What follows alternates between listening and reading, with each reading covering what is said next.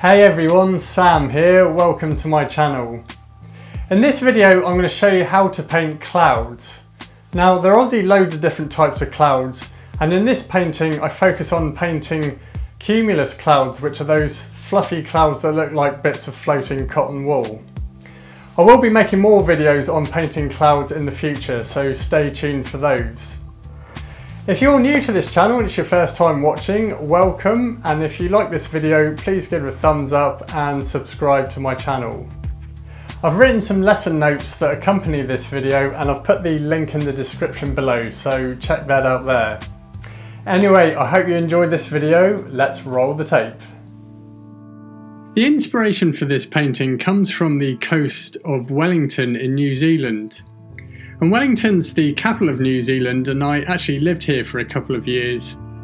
Due to the location of Wellington between the bottom of the North Island and the top of the South Island, and its proximity to the mountains in the South Island, it's a windy place as air is funneled through the Cook Strait.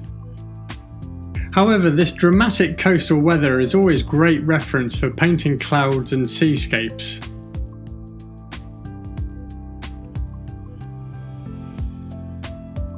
I'm working on a piece of loose medium weave Belgium linen which I've taped to a board with masking tape. The painting itself measures 22.5 centimetres by 30 centimetres and I've left a few centimetres excess around the painting so that the artwork can either be mounted on stretcher bars or to a board once it's finished. The advantage of painting on loose linen or canvas is that you can decide the dimensions of the painting that you want. They're easier to package and ship if you wish to send your paintings overseas.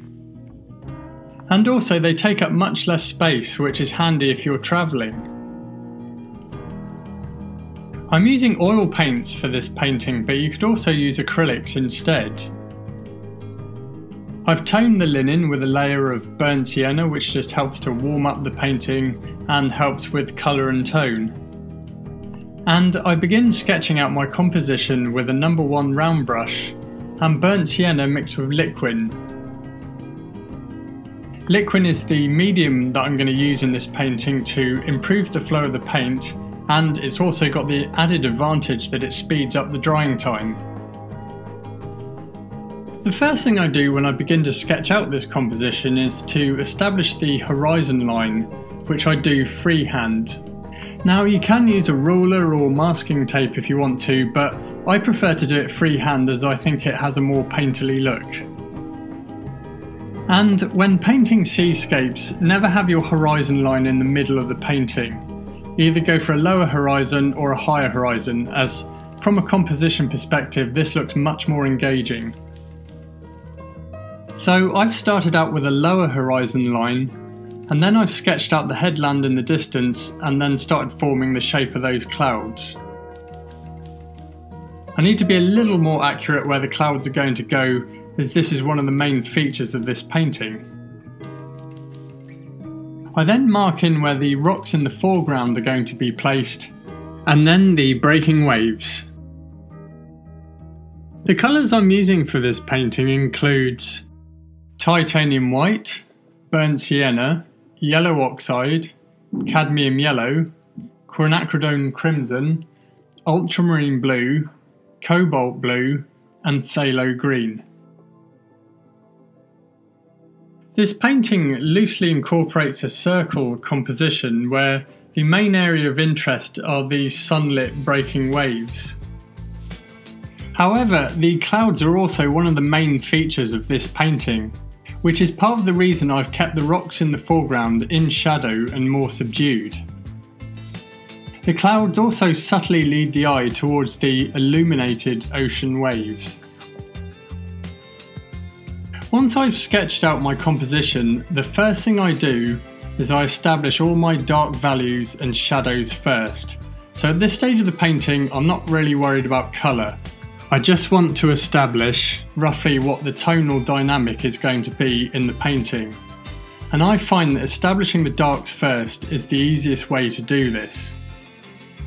I begin with the sky and the lightest of my dark values, the cloud shadows. Value refers to how light or dark a subject is. Clouds and sky are generally some of the lighter values within the landscape. There are exceptions of course. There are some dark shadows within these clouds, and I start to block those in first. And for this I'm using a combination of titanium white with a little ultramarine blue and burnt sienna. The burnt sienna being a dark orange desaturates the blue as orange is opposite to blue on the colour wheel. I usually try to keep my cloud shadow mixtures on the blue side as I don't want to risk the clouds looking muddy. I personally try and keep my colour combinations when I'm painting clouds and sky more simple so that I can achieve cleaner colour. I'm going to use these cloud shadows to gauge the other shadows within the painting and the overall tonality. I have to be careful not to make those cloud shadows too dark as I don't want those clouds jumping forward in the painting. Whilst I want some attention on the clouds, I still want it to sit back in the landscape. Some of the cloud shadows in this scene also have a slight violet tint to them, so in a couple of areas I've just introduced a little bit of quinacridone crimson to my mix. But I've only used this mixture for the clouds on the left side of the painting. Next I move on to the headland, and the shadows here are much darker than the shadows in the clouds. But I'm still going to use my same colour combination, which is ultramarine blue, some burnt sienna to desaturate, and titanium white. I also mix in a very small amount of quinacridone crimson, just to give it a violet tint. But overall I want to hold back a little on the burnt sienna so that the colour has a blue cast to it. Again this helps to make the colour look cleaner and also helps to avoid it looking muddy. Once I've painted the headland, I then focus on the darkest zones in the painting, which are the rocks in the foreground. And I'm using just ultramarine blue and burnt sienna and just filling in some of those dark accents, which are mainly within the cracks and the bases of the rocks. Now the painting might not look like much at the moment, but here I've established three tiers of depth. I've got my clouds and sky, then the headland, and then the rocks and the sea in the foreground. And I can use this to work the overall tonality of the painting. So once this is done, I can start thinking about painting the major zones that are in light and adding my colours. So here I go back to the furthest zone, and of course the main subject of this painting, and that's the sky. And I start painting the areas of the clouds that are in full sunlight for this I mix a combination of titanium white with a little burnt sienna and I'm actually going to allow my cloud highlight mix to combine and mix in with the cloud shadows and I'll be blending these colours together on the painting itself. Because clouds are amorphous they can be a little tricky to paint so the best thing to do is first figure out where the light source is coming from which in this painting is on the left side this also helps to make it easier to define where these shadows are going to sit. But first of all, I find it easier to just get some paint down on the linen and then work from there. For the cloud highlights that are in the distance, I want them to recede further. So I add a little more burnt sienna to my mix. This makes the value of the colour a little darker and so it starts to sit back within the painting. As white is the lightest value, it will have a tendency to jump forward within the painting. Once I've added my major zones of highlights within the clouds, I can then use my existing shadow mix and go back and start to blend in some of those colours and define the shape of some of those clouds. At this stage of the painting I'm using loose painterly brushwork and I'm also using a number 6 flat brush which is quite large even for a painting this size but this is actually ideal for painting clouds. I paint in the cloud highlights quite quickly using loose gestural brush marks, and then I mark in where the lightest areas of the clouds are going to go, where the maximum amount of sunlight is reflecting off them. For this I add in a little bit of yellow oxide into the mix just to give it a yellow cast, but only a small amount. The tone of the clouds just above the horizon is lighter, but I'm still using my same cloud shadow mixture but with a little more titanium white added. I've also mixed in just the smallest amount of quinacridone crimson. Once I've established the rough shapes of the clouds, I then move on to the sky For this I'm using a number 6 flat brush and I start with just a mixture of titanium white and cobalt blue. I'm keeping the value of the sky lighter as it's nearer the horizon. But as we move up in the painting, I start introducing more cobalt blue and ultramarine blue. I fill in the negative spaces around the clouds, which is also going to help to define their shapes. Once I've painted the sky, I then go back to the cloud shadows and just fill in some of those halftones between the shadows and the areas that are in light. Next I move on to painting the sea.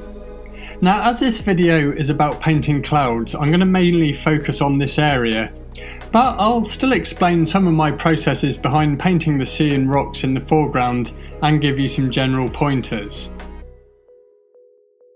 Now when it comes to painting the horizon of the sea, I usually like to do it with one swift brush mark. As the sea here is in shadow, I'm using a mixture of ultramarine blue with some yellow oxide and a small amount of titanium white. I've also used the same colours for the shadow areas in the foreground, and now when it comes to painting the sea that's in full sunlight, again I use the same colours but I've also used more titanium white to make the value lighter and I've also introduced a small amount of phthalo green. I leave some gaps in the water so I can paint the foam and the crest of the waves. For this I'm just using a combination of titanium white with some burnt sienna. I'm not worried that the white is going to mix in with the colour of the sea, because I'm going to come back to it later on in the painting. The foam and white water in the foreground is in shadow, so I'm going to need a darker tone in order to paint this. For this I'm just using a simple combination of titanium white mixed with some ultramarine blue and a little burnt sienna to desaturate. I'm using my number 6 flat brush to mark in the general areas where the white water is going to go.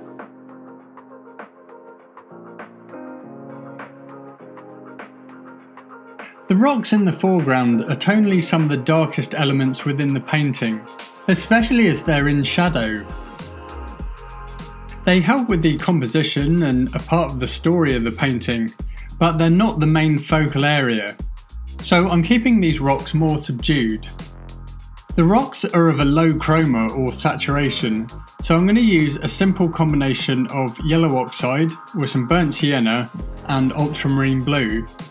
And then for some of those lighter areas, I'm just going to mix in a small amount of titanium white. I finish up the blocking in stage by painting in the areas in light on the headland.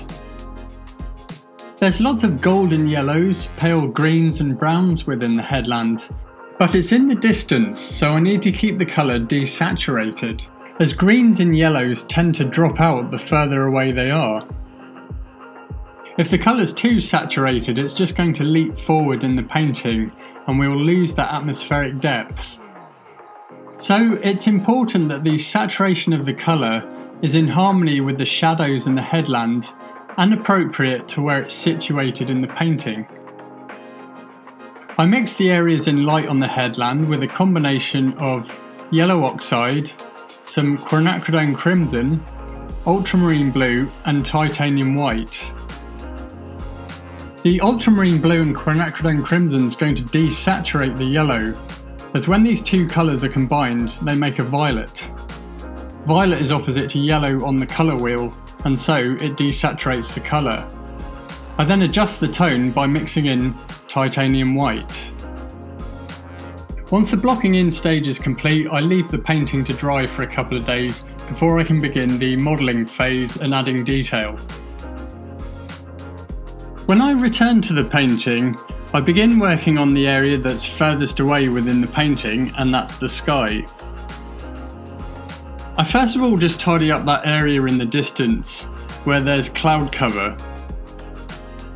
I mix a lighter tone of titanium white with some ultramarine blue, a little burnt sienna and a very small amount of quinacridone crimson. And I just tidy up the distant clouds near the horizon. And it also helps to fill in the negative spaces and define the shape of the headland. I'm using a number 4 flat brush and I'm going to start adding more highlights to these clouds and I'm going to make sure that my layer is lighter in value than the first layer I applied during the blocking in stage. So for this I'm still using a combination of titanium white with a small amount of burnt sienna and I'm still going to allow the shadow mixture to mix in with this once I start applying it in just a moment. I'm marking in where the key highlights are and I'm starting to add more definition to the clouds. I'm also feathering and softening the edges of some of those clouds. Once I've marked in more of these cloud highlights, which I admit do look like blobs at the moment, I then immediately return to painting and defining the cloud shadows. And again I'm mostly using a mixture of ultramarine blue with some burnt sienna and titanium white. And I restate some of these dark areas and the bases of these clouds. The cloud bases can often be some of the darkest areas of the clouds, so this is a good way of adding more definition to the clouds in your painting. Once I've painted some solid cloud bases, I mix in a little more titanium white and paint some of those halftones within the clouds, and then blend in some of that cloud shadow with the highlights that I applied earlier. There are a few fluffy areas of clouds that are particularly dark, and they are likely to be darker the further forward they're coming in the painting. They're also adding drama to the clouds, and atmosphere to the whole painting, communicating blustery, showery weather conditions. Now this process takes a little bit of time as I work on individual areas of the clouds. I may need to add more shadow in places and then more highlight and back and forth. Take your time and have fun with it. I can further define the shape of the clouds by restating the sky, and this is the same colours that I used in the blocking in stage, which was mostly cobalt blue with a little ultramarine blue and titanium white. Now the beauty of the sky mix is that I can use it to not only further define the shapes of the clouds, but make changes to them if I'm not happy with it. And this actually was the case with this painting. I felt that the large cloud within the upper section of this painting was too distracting and taking up too much space and needed breaking up a bit. So I was able to use my sky mix to quickly fragment some of those clouds and then I could just easily restate some of those highlight and shadow areas. The beauty of painting clouds due to their amorphous nature is that they're easy to fix if you're not happy with them. I skim over the clouds with a bit of extra highlight mix and then I'm going to leave them to dry again so that I can add some final details to them. So now I'm going to work on the rest of the painting. I restate the shadows in the headland and paint some more of those highlights before spending some time working on the sea. I'm using the same colours in the sea that I used in the blocking in stage. So for the dark areas, a combination of ultramarine blue with yellow oxide and a little titanium white to adjust the value. And then for the areas that are in sunlight, ultramarine blue with yellow oxide, some phthalo green and titanium white. I'm using smaller brushes for finer details. I add more highlight to the foam on the breaking wave, but at this stage I'm still making the value a little darker so that I can add some highlights right at the end of the painting. I'm using a bristle dagger brush which is ideal for painting foam as I can use the flat end to create sea spray. And then I can also use the tip of the brush to paint some of those foam patterns. I also use a bristle dagger brush for the foam and white water that's in the foreground. Again I can use the brush to communicate turbulent water and sea spray. Some of the ripples within the waves are reflecting the sky, so for this I use a mixture of cobalt blue with some titanium white. I'm now adding much more detail to this area of the painting. When I paint the rocks in the foreground, I restate some of those dark areas and add in more cracks and fissures that are within the rocks. I'm going to use these as a base to work from so I can start painting in more of those rock tones where I'm going to define the shape of the rocks. I'm still using the same colours I was using in the blocking in stage, which is a combination of yellow oxide, burnt sienna, ultramarine blue and titanium white and I use them in varying amounts to let some of those individual colours come through. I'm also at this point using smaller brushes, mainly number one round brushes. I still need to keep the colour of these rocks relatively dark and subdued.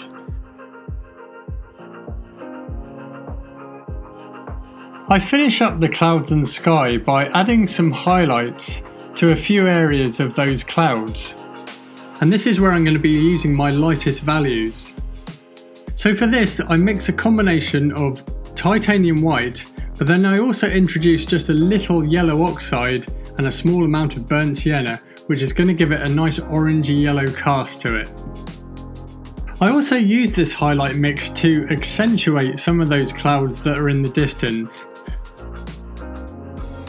I use a number 2 filbert brush to mark in some of those highlights. And once that's done, the sky is complete. As I work towards completing the painting, I'm just thinking about adding in those final details and highlights to the distant headland, the sea and the rocks. I add my lightest values to the white water and the breaking waves that are illuminated in the full sunlight. And for this I'm just using titanium white with a very small amount of cadmium yellow. I complete the painting by adding in a couple of seagulls, which really adds a bit of life and atmosphere to the whole scene. And now that the painting is complete, I can now peel off that masking tape. Peeling away the masking tape, in my opinion, is when the painting really comes to life because it takes away the busyness from the edge of the painting and you can see what it truly looks like. By leaving some excess around your painting, it'll give you the option to either mount it on stretcher bars or a board.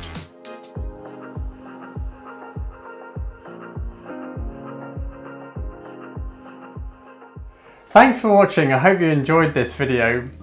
If you'd like to learn more about painting then check out the painting resources I have on my website at samuelearp.com, where I've got written painting tutorials and videos. If you have any comments, feedback or suggestions for future videos you'd like me to make then leave them in the comments section below and I'll do my best to answer them.